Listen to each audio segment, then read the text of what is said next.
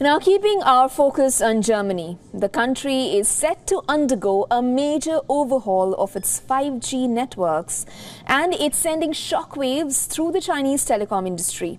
The country's interior ministry has proposed restrictions on using equipment from Chinese tech giants Huawei and ZTE.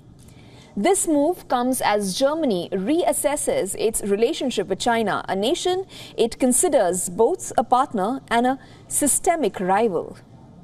The plan includes a phased approach aiming to limit disruptions and operators remove critical components from Chinese vendors in their 5G core networks by 2026.